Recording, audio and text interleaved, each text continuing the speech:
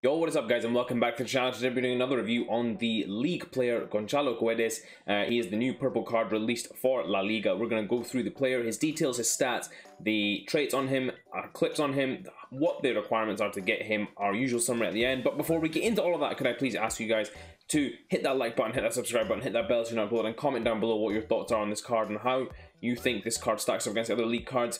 Guys, before we get further into review, I know some of you have been requesting players. As you guys can see from the team that I'm using today, um, one of my I'm reset my account. I'm doing a new account again, so I will get to those players. I am building up my coins right now to be able to buy them. So just bear with, and I will get to them very soon. I've got a bunch of them on the list, so don't worry, we'll be getting to them. If you do have any other players you want to see as well, please do uh, let me know down below. Anyway, getting into the review, this is the team I used him in, so I would off, I would sub him and Cunha onto the pitch uh, straight after the starting whistle. Um, Robben out on the right, uh, out on the on the right back as well, and then Saint-Maximin. So really a pacey attack, good quick attack to play him with uh, was really dynamic in that attack as well guys I absolutely loved this card it took me a couple of games to figure him out but once I did my god was he good. Um, getting into the card, he is 5'10", high medium work rates, right-footed, 4-star skill moves, 4-star weak foot, so very good actually um, in terms of usability for you guys. Um, he can play either on the wing, he can play a striker, he can play a number. He can't play number 10. That was one thing I was about to say. I was about to say he could play number 10, but I don't think he can. He's not technical enough to play the number 10 position, but he can definitely play striker, can definitely play wide on the wing. Um, as you guys can see, I played nine games with him, 20 goals and four assists. Now, guys, before I get further into this, there was a lot of goals footage and stuff like that. Now, I didn't want to lengthen this uh, review out too much, and some of my footage did corrupt. So I've got some clips of all of his game for you to see how he plays. Don't worry, there are some clips of his goal scoring and assists, but just not as many as you guys might want. Uh, bear with me, that will be fixed in the future as well. Getting some of the details, I chucked a dead eye on him. I wanted his shooting and passing to be better. His link-up play still was lacking despite having the dead eye on him. Um, so that's maybe a bit of a con of the card, uh, was that his link-up needs to be a bit better. But it's perfectly usable for a striker. Um, I think I was just wanting too much from him. Uh, so again, very usable there. Shooting is very good, especially from distance, guys. You're going to see a couple of good pings from distance. Um, of course, he plays uh, in uh, La Liga for Valencia and a Portuguese players. You've got some nice linkability and then we'll get into that more in the summary. Um, but yeah, some good options there as well. And he is, of course, coming as standard as a centre forward card. Getting into some of the stats, we'll just go through the key pros and cons here. The pros, of course, his pace, 88 acceleration, 91 sprint speed, absolutely fantastic. His shot power and long shots, 90 on both of those. So really, once you get into any sort of range in and around the box, you are going to be leathering that ball. Um, all of his dribbling is pretty neat and tidy as well. The cons of this card, guys, his finishing, 82 finishing is not good enough. Uh, sometimes he doesn't put it quite in the corner of the net. You'll see that in a couple of the chances that he has um, in the clips, that he doesn't quite stick away the ones you think, oh, maybe that should have gone in. Um, but otherwise, he was absolutely fantastic. And the other con as well is his stamina.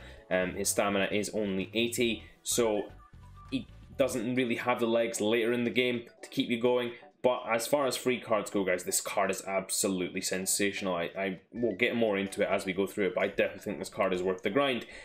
Getting to his traits now, injury prone. Now, he did get injured a couple of times for me. Luckily, of course, because online, didn't have to come off. Flare, Flare trait, long shot taker trait, speed dribbler, and technical dribbler. Now, the dribbling traits are really fantastic. He does benefit really well from those long shots as well.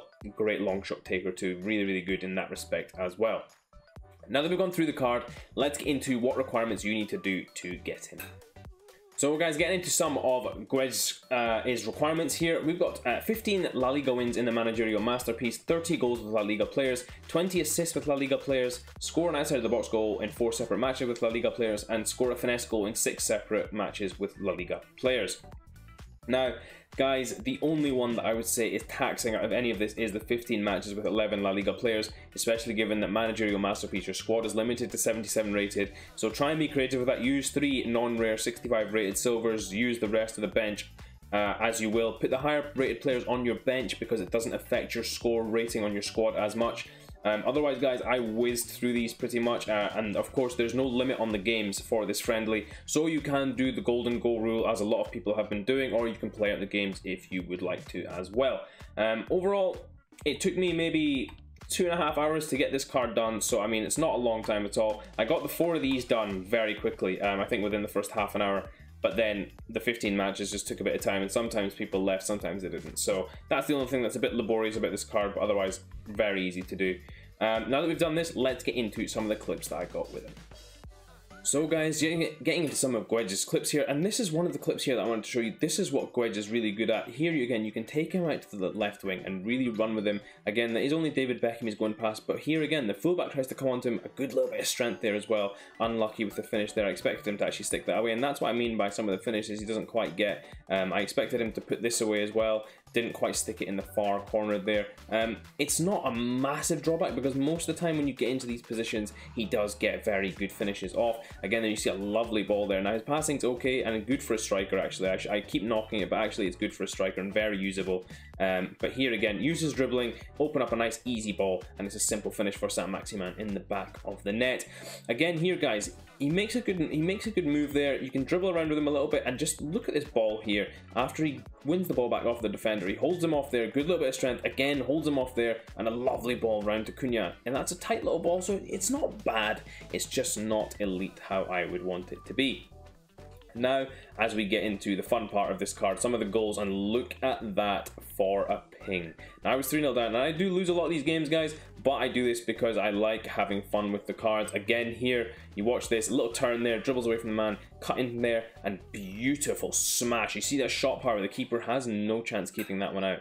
Again here, lovely little couple of turns there. He keeps the ball very neat and tidy. Again, turn away from the defender. Drive past another one. That acceleration coming into play. And a smash. Again, no chance for the keeper. Too powerful, too precise there as well.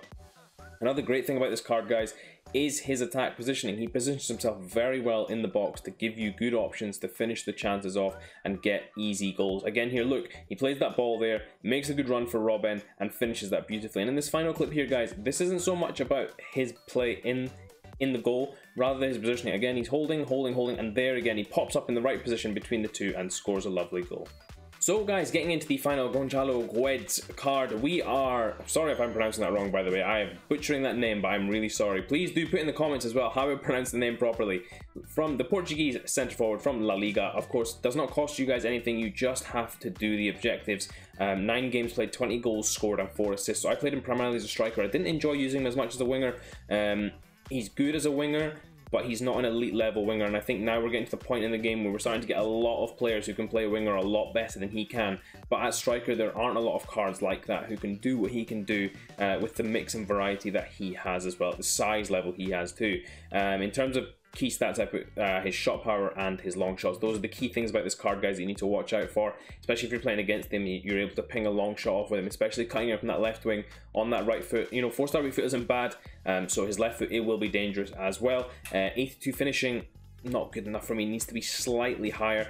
But again, if you make the finishes easy enough, he's not going to miss. Um, and then, of course, his stamina was a bit of a con for me as well. In terms of linkability, you've got some good links in like players like João Felix, Jose Gaya, you've got Carlos Soler as well. So you've got some good players in there you could link to him. Uh, Valencia and Portugal-wise, of course, you can go across leagues as well with that nationality too. And in terms of similar player, I put Anthony Martial. Um, I think he offers a similar sort of game to Anthony Martial. Uh, not particularly strong, but very quick, very technical easily usable at the striker position. Would I recommend doing this card, guys? 100% yes. Uh, it took me a couple of games to figure out how to use him, so I didn't score any goals in three or four games with him.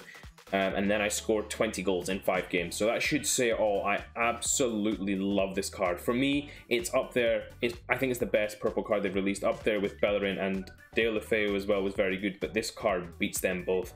And this is a really sensational card, and I would 100% recommend you guys doing it. 100%. Hope you guys did enjoy the review, and if you did, please do smash that like button. And until next time, I will see you all in a bit.